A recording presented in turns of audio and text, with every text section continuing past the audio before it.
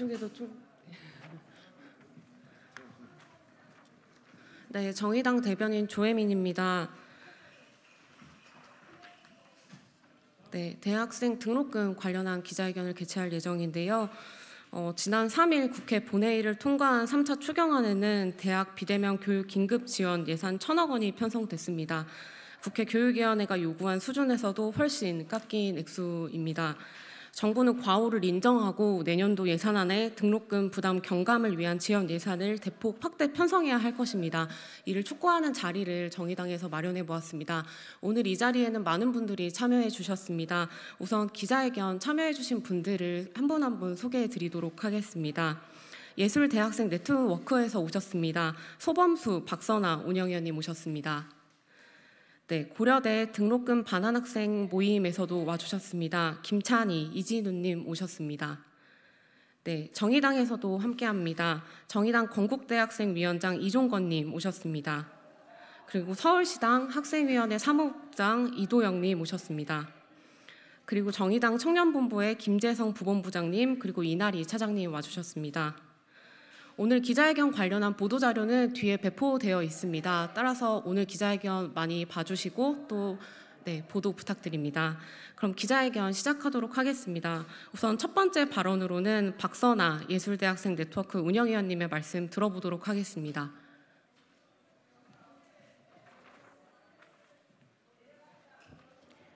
안녕, 안녕하세요. 예술대학생 네트워크 운영위원 박선아입니다. 전염병은 평등하지만 재난은 평등하지 않습니다. 코로나19로 발생한 문제들은 새롭지 않습니다. 기존의 문제들이 첨예하게 드러났을 뿐이고 고통은 사회에서 가장 취약한 이들에게 나를 먼저 세웠습니다. 가장 먼저 해고된 이들은 비정규직 노동자였고 감염 위험에서 자유롭지 못한 것도 비정규직 노동자였습니다. 쿠팡 집단 감염과 아시아나 재하청 노동자들 정리해고는 건강과 생계의 위협에서 가장 고통받는 이들이 결국 가장 취약한 계층임을 탈은폐했습니다. 고등교육의 문제들도 마찬가지였습니다. 고등교육 등록금 책정이 얼마나 허술한가요? 그 의사 결정에서 학생들은 얼마나 배제되어 왔나요? 예술대학의 등록금 책정의 불투명함에 대해서는 끊임없이 문제 제기가 이루어졌었습니다. 예술 대학생 네트워크는 17년부터 4년간 예술 계열 차등 등록금 근거 부족과 부당 징수에 대해 지속적으로 이야기해 왔습니다. 그러나 그때마다 회피를 통해 책임을 밀었던 교육부와 정부, 대학의 무책임함은 결국 코로나19를 통해 교육의 모순으로 다시금 드러났습니다. 코로나 사태에 대한 대안으로 등록금 환불이 논의되고 있는 상황에서 우리는 국립대, 사립대, 의예과 계열, 예술 계열 등 학생들이 낸 등록금이 모두 다른 만큼 납부 비율에 기반한 등록금 환불을 논의해야 한다고 주장합니다. 그렇지 않다면 정부와 교육부 그리고 대학의 계열에 따라 차등으로 책정된 등록, 차등 등록금의 모순을 실납입 등록금과 무관하게 일괄 금액 반환으로 인정하는 것인지 되묻고 싶습니다. 대학생들은 대학생들의 등록금은 국립대, 사립대의 차이뿐만 아니라 전공에 따른 각 계열별로 적게는 수십만 원에서부터 많게는 수백만 원에까지 이르기까지 차이가 납니다. 특히 예술대학의 경우 실습비, 기자재 사용비 등의 이유로 탁과배비 100만 원 가량 높은 등록금을 요구해 왔는데 한 달 이상 사용이 전무했음에도 같은 등록금을 요구하는 것은 기존의 차등 등록금 책정에 근거가 없었음을 증명하는 꼴입니다.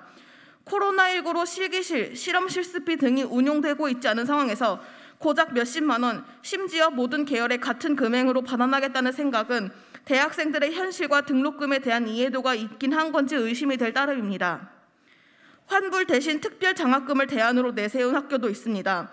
그러나 우리는 학생들의 교통을 분담하고자 하는 취지의 특별 장학금 지급에 전혀 동의할 수 없습니다. 7월 1일 개원예술대학교의 코로나19로 인한 특별 장학금 지급 안내는 다음과 같은 입장을 밝혔습니다. 학교 시설 사용 불가 및 실습 실습 수업 미실시 등으로 학습권을 침해받은 재학생 1인당 특별 장학금 20만 원을 지원하겠다. 그러나 특별 장학금은 그 이름부터 불합리합니다. 학생 권리 침해에 따른 정당한 등록금 반환이 아니라 어려운 상황에 처한 학생들을 학교가 도와주겠다는 것입니다. 송수근 총장은 경제적으로 어려운 학생들의 고통을 분담하고자 하는 취지라고 밝혔습니다. 이 특별 장학금은 2학기 등록금을 면- 감면하는 형태로 지급되는데 이는 2학기 휴학생, 졸업생, 자퇴생, 2학기 전액 장학금 수령자를 전혀 고려하지 처- 않은 처사이며 오히려 2학기 등록자가 적을 것을 우려하여 내린 판단으로 보입니다. 코로나19라는 처음 겪는 상황에서 모두가 고통 분담을 하자느니 선심 쓰듯 장학금으로 학생을 돕겠다느니 하는 학교의 말들은 전혀 앞뒤가 맞지 않는 말이며 현 상황에 대해 책- 대학이 책임을 회피하는 모습만을 더욱 부각시키고 있습니다. 한 가지 짚고 넘어가고 싶은 것은 우리 학생들의 등록금 반환 요구는 단순히 코로나19 이전과 같은 금액임에도 적절한 교육 서비스를 제공받지 못함을 이야기하는 것이 아닙니다. 이 사태는 단순히 서비스 값을 돌려받으면 해결될 문제가 아닙니다. 전액 장학금을 받은 학생 또한 이 같은 권리 침해에 아무런 당사자성이 없는 것이 아니듯 등록금 반환 요구는 교육의 공공성에 대한 이야기로 이어져야 합니다. 그러므로 이건 대학뿐 아니라 정부와 교육부도 응답해야 합니다. 이들은 헌법에 보장된 평등하게 교육받을 권리를 침해하고 있습니다. 여태까지 예술대학생들이 대학들에게 근거 없는 차등 등록금 등으로 불합리함을 강요당해왔음을 고려한다면 또한 대학이 고- 교육 공공성을 가진 기관임을 고려한다면 대학들의 고통 분담과 차등 등록금 책정 근거가 부실함에도 방관마했던 교육부의 당사자 간 문제다라는 말은 매우 뻔뻔한 답변입니다. 여태까지 대학은 학생들과 고통을 분담해 온 적이 없고 학생들에게만 부담을 강요해 왔으며 교육부는 이에 대한 책임이 있으면서 방관해 왔습니다. 교육부의 지침 없이는 단 한 발자국도 움직이지 않는 대학, 책임을 회피하고자 하는 교육부, 소극적 대응의 정부, 이로 인해 대학생들은 오늘도 학업 유지를 위해 생계를 위해 고통을 받고 있습니다. 사립대학이라는 자율성이라는 명목 아래 정부는 교육 공공성에 대한 문제를 책임을 회피하고 있습니다. 피해자인 학생은 명확한데 그 어떤 주체도 피해에 대한 책임을 지려하지 않는 것입니다. 대학의 자율성은 피해자가 발생한 상황에서 자율이라는 명목으로 유지될 수 없습니다. 이제 new normal은 대학의 기능과 목적의 새로움을 요구하고 있습니다. 변화하지 않는 한 우리의 재난은 여전할 것입니다. 대학은 공공성에 기반한 대학의 역할과 책무를 인지하고 코로나 사태로 인한 학생들의 교육권 침해, 등록금 반환권에 대해 적극적으로 책임을 다하고 학생들의 목소리를 들어야 할 것입니다. 대학과 교육부, 정부는 자신들의 고통을 분담해달라 말하기 전에 등록금 반환을 위해 혈서를 쓰는 학생, 경산에서부터 10일간 230km를 걸어 교육부까지 온 학생, 다시 교육부에서 국회까지 150km를 걷게 된 학생, 등록금 반환 소송에까지 결심한 대학생들의 목소리에 귀 기울여야 할 것입니다. 정부, 교육부, 대학 등 책임 기관들의 올바른 대책 마련을 촉구하며 발언을 마치겠습니다. 감사합니다. 네. 이상 박선아 예술대학생 네트워크 운영위원님의 발언이었습니다. 네, 그 다음 발언으로는 이종건 정의당 건국대학생 위원장님의 발언 들어보도록 하겠습니다.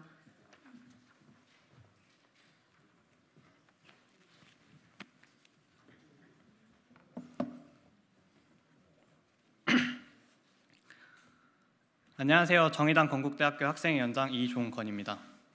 건국대학교는 대학 최초로 등록금을 환불하겠다고 발표했습니다. 그로 인해서 학교 당국은 언론의 주목을 독차지했으며 학생을 위하는 대학이라는 이미지 상승 효과를 엄청나게 거두었습니다. 하지만 등록금 환불 협상 결과 등록금의 5.8% 그리고 생활비성 장학 10만 원이라는 터무니없이 적은 금액이 최종 결정 사항으로 발표되었습니다.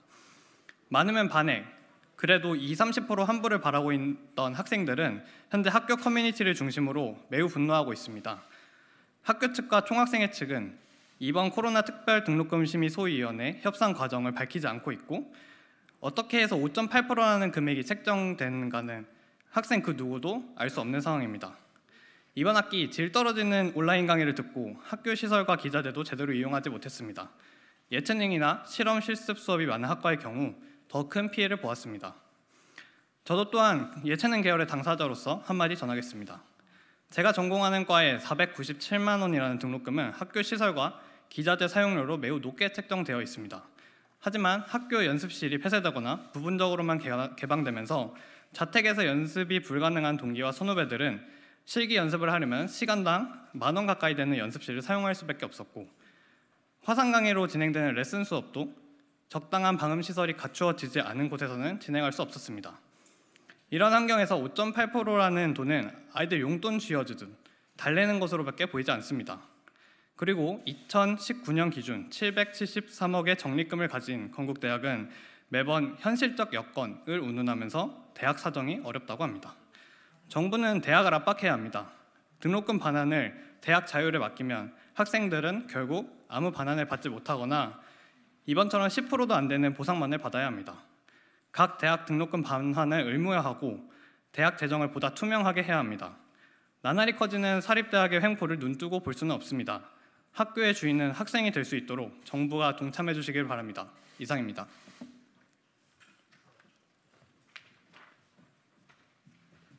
네, 이상 이종권 정의당 건국대학생 위원장님의 발언이었습니다. 그 다음으로는 이진우 고려대 등록금 반환행동 학생모임 대표님의 발언 듣도록 하겠습니다.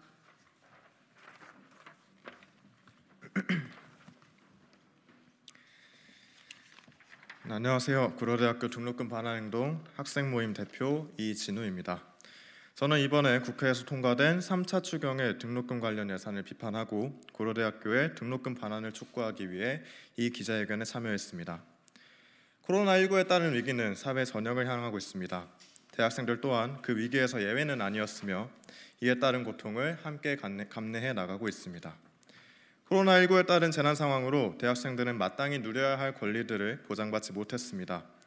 충분히 준비되지 않은 비대면 수업으로 인해 수업의 질은 하락했고 도서관, 열람실 등 교내 시설을 활용, 사- 활용하지 못해 카페, 스터디룸 등의 교외 시설들을 전전해야 했으며 학내에서 이루어지는 문화생활과 자치활동은 크게 후퇴했습니다.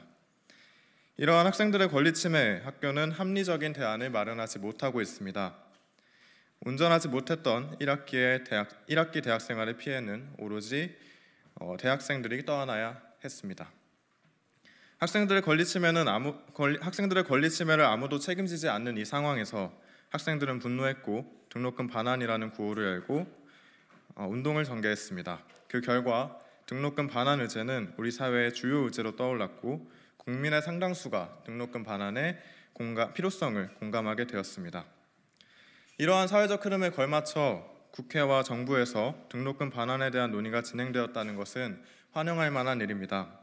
하지만 그 논의에 따른 추경 결과가 대학생 1인당 5만 원 정도의 수준에 머물렀다는 것은 상당히 실망스럽습니다. 국회는 이번 추경이 학교의 등록금 반환을 촉진할 것이라 이야기했지만 실상 누더기가 되어버린 이번 3차 추경은 대학의 등록금 반환에 아무런 추진력도 제공하지 못할 것입니다. 그리고 대학 간의 재정 규모 차이에 따른 등록금 반환의 양극화를 우려하게 합니다. 국가는 대학에 대한 책임을 다해야 합니다. 대학생들은 1년에 700만 원 이상의 등록금을 내고 있고 학교를 다니고 있습니다. 이뿐만 아니라 주거비, 교재비 등 대학 생활을 위한 상당 비용을 추가로 지출하고 있습니다. 이는 단순히 대학생들의 문제가 아닙니다. 대학생들이 속한 가계의 문제이고 우리 사회의 문제입니다. 대학 진학률이 여전히 70%에 육박하고 있고 사회가 여전히 대학 진학, 진학을 강요하고 있는 입장에서 대학이 발생한 대학에서 발생하는 문제는 국가가 책임지고 풀어야 할 사회적 문제입니다. 또 고등교육 기관의 지위와 역할을 국가가 부여했다는 점에서도 대학이 대학에 대한 책임을 국가가 지어야 할 것입니다. 앞으로 대학에 대한 국가의 책임 있는 태도를 촉구합니다. 코로나19 상황이 장기화됨에 따라 2학기에도 등록금 의제를 비롯한 다양한 문제들이 대학 사회에서 발생할 것으로 예상됩니다. 국회는 앞으로 발생할 대학 내 여러 의제에 대해 시의적절하게 반응하고 대학생들이 실질적으로 공감할 만한 해결책을 마련해 주시길 바랍니다. 이제 등, 등록금 반환의 공은 대학으로 넘어왔습니다.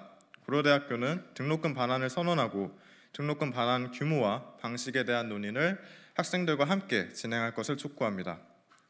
지난 한 달간 고려대학교 학내에서는 등록금 반환을 촉구하는 여러 활동이 전개되었습니다. 여러 장의 대자보가 붙었고 등록금 반환 의제에 공감하고 행동하는 자발적인 학생 모임이 만들어졌습니다.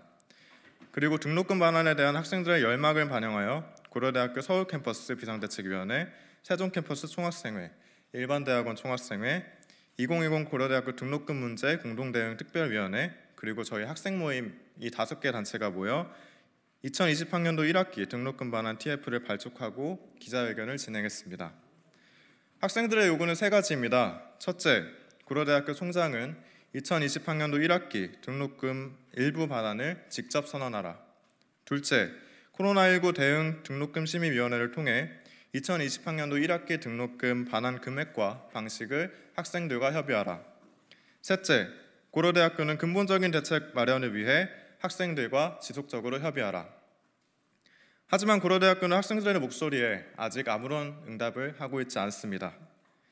물론 예상치 못한 재난 상황에 방역, 온라인 강의 시설 구축 등 추가적인 비용 지출과 그에 따른 재정 압박이 있을 수 있습니다. 하지만 수천억의 적립금을 쌓아두고 있는 대학이기에 의지만 있다면 적립금 전용을 통한 등록금 반환이 충분히 가능하다고 생각합니다.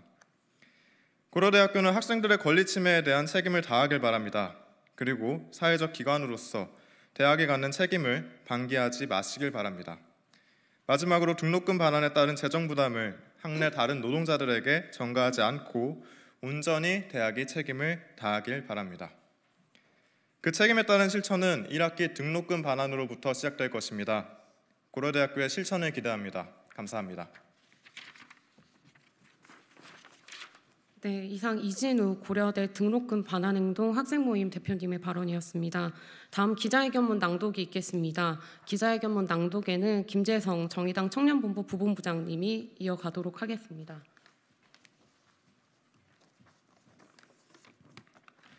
지난 3일 국회 본회의를 통과한 3차 추경안에는 대학 비대면 교육 긴급 지원 예산 1천억 1천억 여 원이 마련돼 방역 편성됐다. 국회 교육위원회가 요구한 수준에서도 훨씬 깎인 액수다. 이를 학생 한 명이 받을 수 있는 액수로 계산하면 약 5만 원 정도에 불과하다.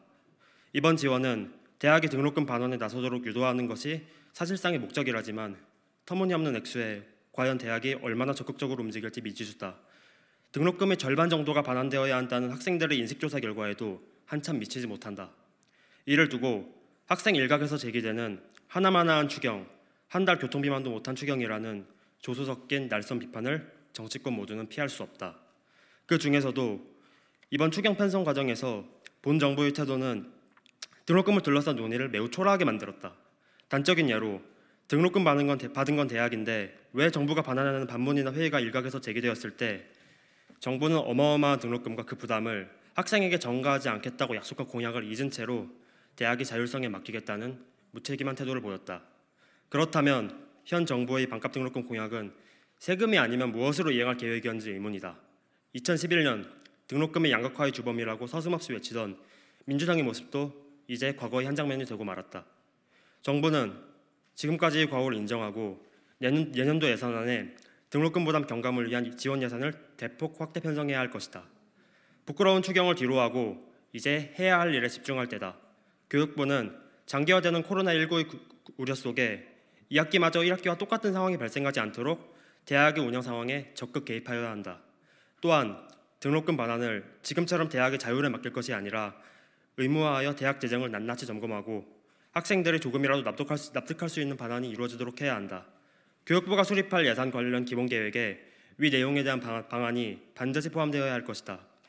교육에 대한 투자는 국가의 몫이며 대학은 희망하는 누구에게나 열린 공간이어야 한다는 말, 이 말이 상식인 사회로 나아갈 수 있도록 정부가 만전을 기하라. 이상입니다. 네, 이상으로 기자회견문 낭독은 김재성 정의당 청년본부 부본부장님이 하셨고요. 네, 이상으로 기자회견 마치도록 하겠습니다. 감사합니다.